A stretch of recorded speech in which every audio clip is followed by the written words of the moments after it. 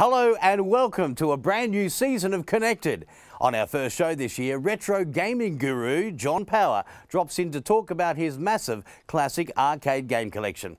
Our roving reporter Greg Hinksy Hinks has had to undergo some retraining for this series, and we'll see how on track he is.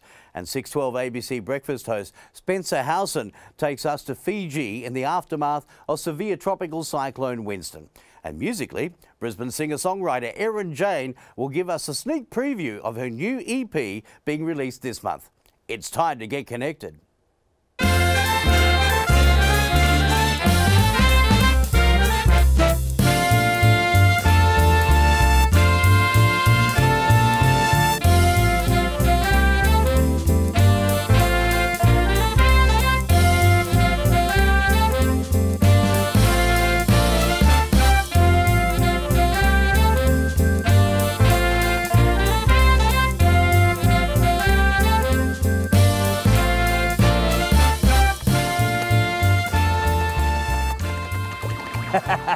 Can't believe they finally put one in the studio. We'll get no work out of the crew at all. But if you grew up in the 80s, you would most certainly be familiar with machines like this. Space Invaders, pinballs, and even Donkey Kong were arcade machines that entertained millions of Aussie kids. Well, believe it or not, there are still a few working machines like this one still around. And it's all thanks to our very own retro gaming guru, John Power. G'day, Damien. How are you? Mate, welcome to Connected. Yeah, thank you so much. Good to see you. Uh, fantastic to have you. Yeah. And of course, all of these wonderful machines. Yep. Space Invaders, I'm guessing that would have to be one of the oldest. yes, it is. But you know, the oldest one I have is from 1972 called Pong. Okay, it's like the bat and ball game, you know, the old. Oh, Yeah, yes, yeah, yeah. yes. And you sit at a table. Yep. And uh, made by Atari. That's right. So, and uh, yeah. even back on the old Commodore 64 computer. Yes, Well before many people watching. You can remember that. That's good, good, good. Now, of course, uh, with these machines, I mean, they come in different varieties and forms. With Space Invaders, though, that was one of the big popular ones, wasn't it? It was the biggest hit in the 70s. Pretty much started the arcade boom off at the late 70s and took it right through to the 80s. Right. So and big in Japan. it was so big in Japan that they actually ran out of coin. So all the Japanese are putting all their coins in and they realised they had nothing left. So they had to quickly turn over the machines and empty them out quicker and uh, free up the coinage. Amazing. So first game in history to come do that. over here because I know with uh, Space Invaders, Yes. there's a trick to winning, isn't there? There is, but do I have to tell you? Yes, you do. Oh, okay. okay. Now the trick to Space Invaders is you got to put your 20 cents in Oh, first. 20 cents, yeah, by the way. Yeah. Yeah. okay. When the game starts, Yep. the aliens march across in formation from one side to the other. Right. And when they do that, they go down one position. So basically, every position they go down is closer to game over. So when they come across, shoot them in straight lines before they hit the side, and that way they won't go down any further. Easy done. We'll Yes. see how we go with practice later on. You need plenty of practice, I do. I do. Yes. Now, this one here, which is a, a tabletop game, isn't it? Yes, these were made uh, very popular in the late 70s, through to about 1983. And uh, they feature classic games like Donkey Kong, Pac-Man, Frogger, all those particular types of games. And the reason why they were replaced in 1983 because they had smaller upright cabinets that replaced these. Um, basically like the Space Invaders, but a lot smaller. Right. So you can fit two machines in for one of these. So these were quickly phased out in the early 80s. Now, looking around at these machines, John. Yes. uh, what sort of people buy or rent these machines from you? Uh, mum and dads that were kids in the 80s are now wanting these. Uh, I've got a lot of uh, businesses that want to hire them out for functions. Uh, I do a lot of jobs down the entertainment centre uh, for private functions for those. And of course, some celebrity buyers too. You, you've Ah, had yes. some, haven't yes, you? Yes, uh, Shall I mention his name? Yeah, sure. Okay, one morning I had a, a phone call from a gentleman. He said, Don't you answer emails? I said, Yeah, I do. He said, I want to buy one of your tables, matey. And I said, Oh, okay. And I didn't believe who he was. He said, I'm Carl. You know, the Today Show? Carl Stefanovic. That's him. And I, I said, no, I don't really believe you. So he sent me a photo of himself. and uh, you know what? He was so happy with the table, he bought one for the other presenter that was on the show. Uh, Ben Fordham, that's ben right. Fordham, yeah, Yeah. Ben Fordham's got one of our tables. So and they like the classics? They love the classic games. All right. Yes. Now, of course, this one over here, and if you step over this side, Yes. this is actually Star Trek. Looks a bit more modern than the others. It is a bit more modern, and the reason for that is in the last five years, pinball has hit a boom period again. Pinball was very popular in the 70s, and then it got phased out because of the video game craze. Right. Now, people are playing less video games on location, and they want a pinball machine. Ah, I see. So, how many Yes. machines in total would you have Yep. stored under the house? We've got roughly about 80 and about 400 in our whole collection. Wow, Yes. that is amazing. Your wife must love you. Oh, Melissa loves it. Every time I bring a, home, a new game home, she just asks me, what, what's next? What is it? She's so curious about it. All right, now, in case she, Hmm. she's watching, what is next into the stable of uh, arcade 80s games? Okay, since we're going into the pinball and we're standing around one, Yes? I haven't told her yet. The next pinball being released by Stern is called Ghostbusters. Ooh. Yes, and it's a very unique game because it's based on the old technology, but it's all flashy, and it's on the old cast, not the new movie that's coming out. So there, so uh, Melissa, watch out. Dan Aykroyd could be coming to your place very soon. Oh, he is, believe me. and how much would a machine like that cost? uh, generally, a pinball, like from Stern, new is about eight and a half thousand. Wow, so it's not a, a cheap hobby. No, but believe it or not, more pinballs are going into people's homes than what people operate them. Like operators like myself, where we put them in shops and places like that. Um, not many of us doing it because they don't give a good return because Yeah. everybody wants them for home. And of course, you had some some big hardships uh, back in 2011, We like did. like many in southeast Yeah. Queensland with the floods. We did. We lost 75% of our machines on location through Ipswich and the Lockyer Valley area. Well, Yeah. you built that collection back up nice and strong now, haven't you? We have, and the good thing about uh, running original picture tube screens in our tables and uprights and things, they went for a swim for four days, and pretty much after you pull them out of the water, hose them off, they all worked again. LCD screens don't cut it, I'm afraid. Uh, and I've got one here actually that we prepared earlier. Uh, so this is actually a picture tube. That's right. It wasn't in the microwave and it didn't shrink, folks. I didn't feel like bringing in a big size tube. So this is a demonstration of a picture tube. Uh, it's a sealed glass unit, and pretty much if you throw that in the pool and plug it back in again four days later, it still works. Wow, amazing. Absolutely. Technology's great. Mate, it's great. If people are interested, they can also check out your website, arcade80s.com.au. Yes, that's right. They can do too. I'm going to hand you that back. thanks, mate. I can't keep the crew at bay any longer, so guys, come in. And we're going to take a break after this. We'll have a lot more connected. So make sure you stay with us. Play a game.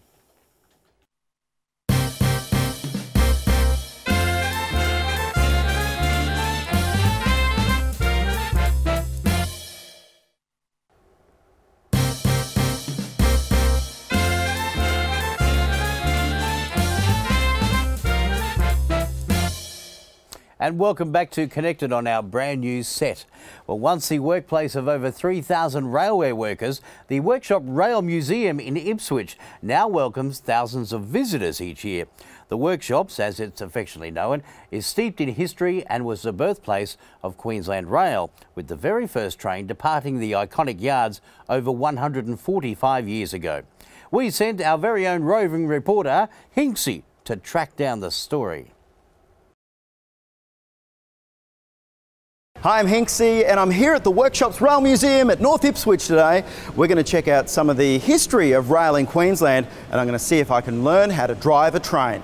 Chugga chugga chugga chugga chugga chugga chugga chugga.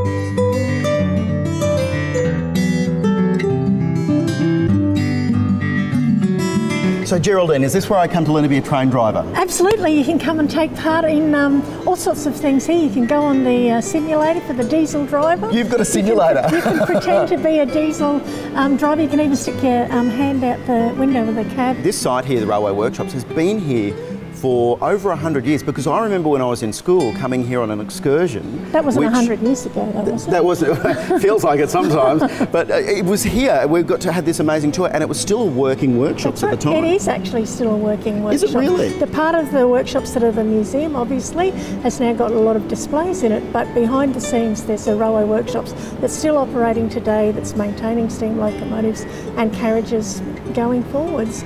Uh, If you want to ride in a steam train, because you can actually ride in them in different areas around southeast Queensland, but one is Steam Train Sunday. Steam Train Sunday, I've gotta love Steam Train Sunday.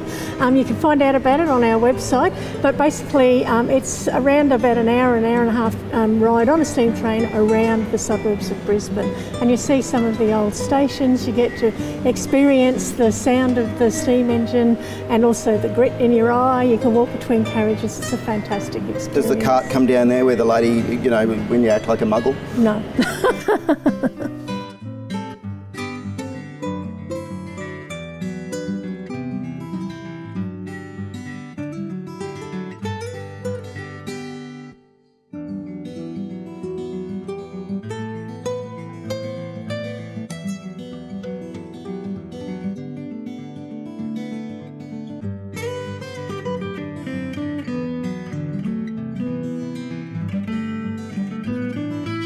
So these these old lamps, the- these were actually used on the trains. Yeah, and signalmen would use them, and there are so many different types of railway lamps that uh, equate to different times in the history of the railways. And you've got all the, the the smaller trains over here, the model trains as well. You wouldn't fit in one of those though. I should hope not. I probably could drive one of them, but the only thing I could drive.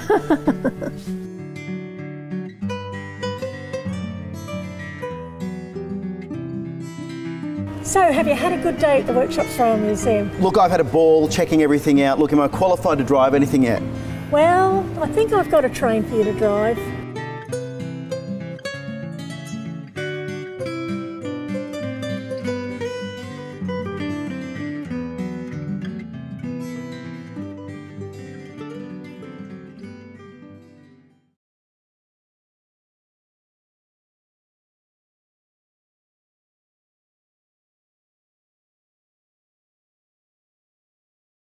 Spencer Howson, who was on the ground as aid arrived after Tropical Cyclone Winston. You're with Connected.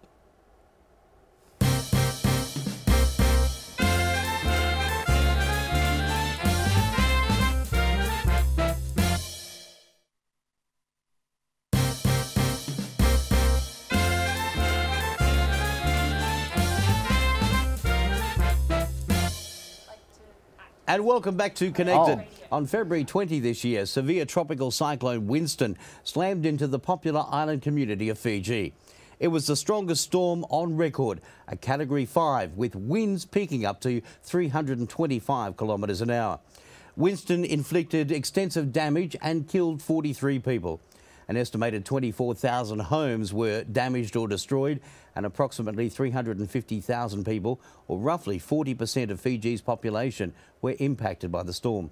Immediately following, a coalition of international support brought tens of millions of dollars in aid and hundreds of tons of supplies to residents in Fiji. Among those on the ground in the stricken region was 612 ABC producer Bernadette Young and breakfast host Spencer Howson, who joins us on the program. How are you, Spencer? Hey, Damien, good to see you. It's great to see you. What a fantastic effort the international community has been making. But how long after the, the storm hit did you guys get on the ground? We were there about a week and a half after Winston, so we got the call up. It was uh, exactly a week after. It was a Saturday morning, and, and my boss rang and said we want to do an appeal. I knew it was coming because we Yeah. we've done appeals for Vanuatu, for Nepal, uh, and and Pakistan, other places. And uh, the call came through. Do you want to go to Fiji for the appeal day? And I just said, yep. Yeah, Yeah. I, I, I, we, we have this shared community of interest with, with the South Pacific, and to me it seemed a very natural thing. I, I couldn't say no to that opportunity. There was uh, this this storm took some uh, off guard, didn't it? I mean, uh, they weren't really prepared for it. Oh yeah, I mean, you know, on, on the one on the one hand, the South Pacific is very prepared for severe weather. Um, the the aid agencies have supplies posi- pre-positioned, which is why the the relief effort was so fast. Uh, but on the other hand, um, Island, for example, which is uh, an island off the main island of, of Fiji, um, the, the tidal surge there, the three metre waves, communities there were just not prepared for. We, we heard of one bloke who essentially had to tread water for four hours. He was swept out to sea. Um, I spoke to a woman uh, on the main island, just near Raki Raki, up, up in the northeast of the main island of Fiji, whose community is literally on the beach. And when we were there a week and a half after, they were already rebuilding homes there. But she said everything was, was swept out to sea. For us to see it on TV, it's a bit hard to appreciate or understand the level of destruction. Uh, but thankfully, you guys uh, took some uh, home video as well while you were there. Let's have a little look at this, and it, it might bring it home to people. Yeah, sure. Well, we, we stayed in, in Suva in the south of the main island and it was fine. This is about three hours drive north or about 150 k's north.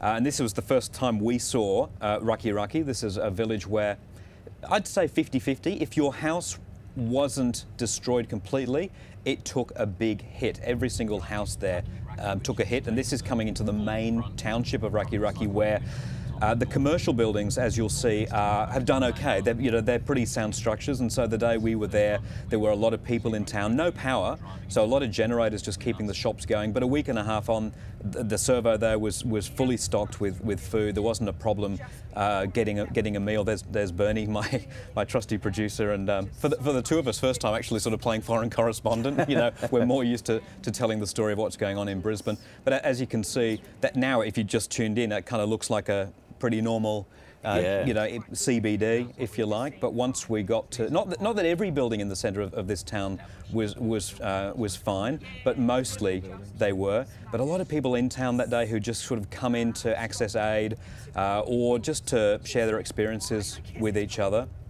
Uh, as we drive out of the, the CBD, uh, then we were back into areas where houses were completely flattened. Um, And then probably the, the most shocking thing we saw was um, a, a school that had completely lost its roof uh, and a four classroom block had been flattened.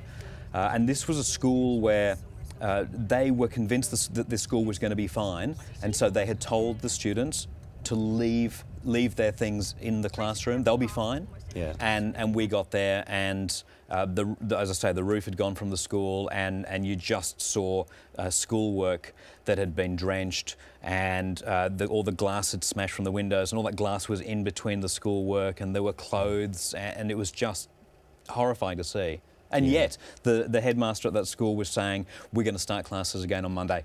We don't know how, but we have to, to get a bit more, get a bit of normalcy into the lives of the kids and, and to get the kids out of home so the parents can start rebuilding their homes again. Obviously, the school sounds like that was the, the one moment that really stood out to you. Oh, yeah, uh, there were a couple. The, the school was definitely a, a big one.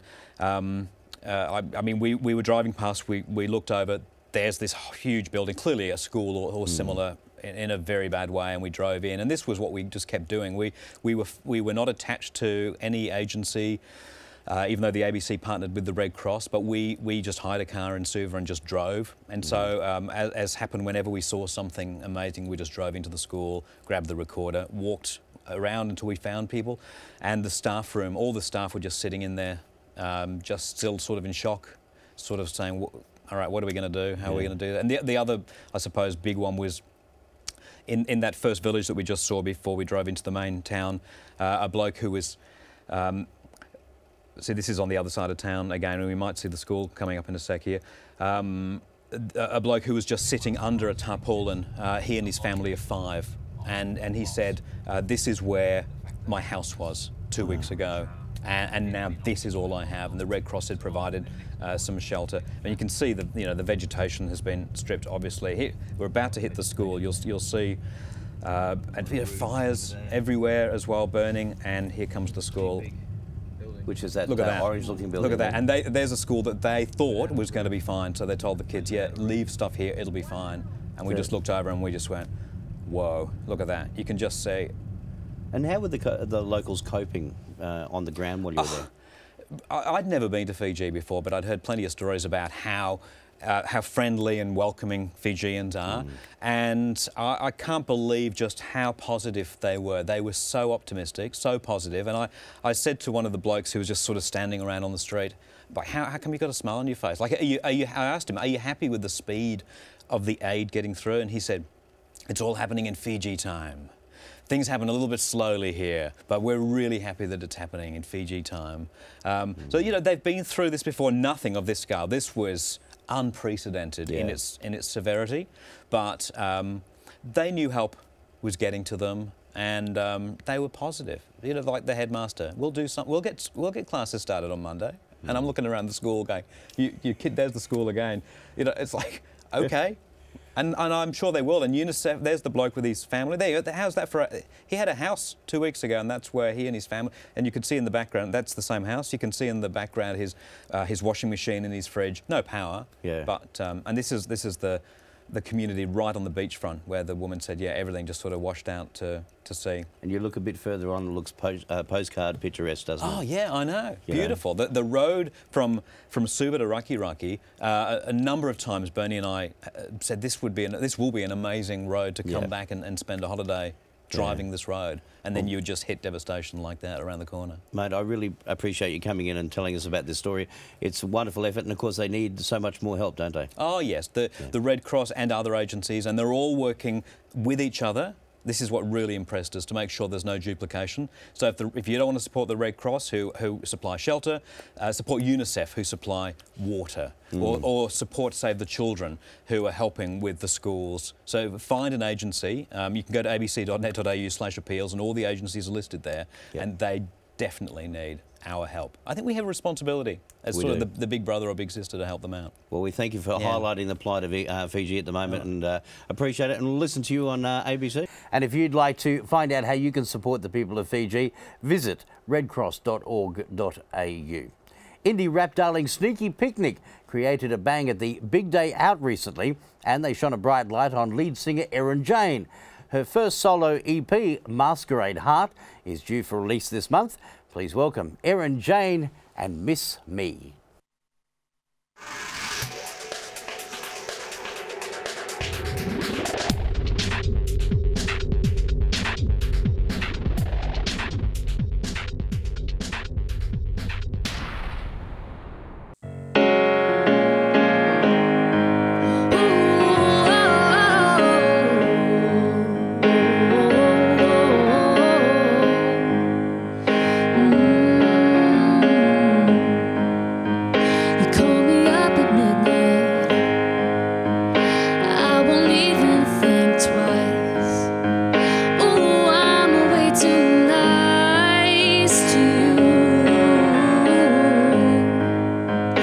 I'll drive you to the city with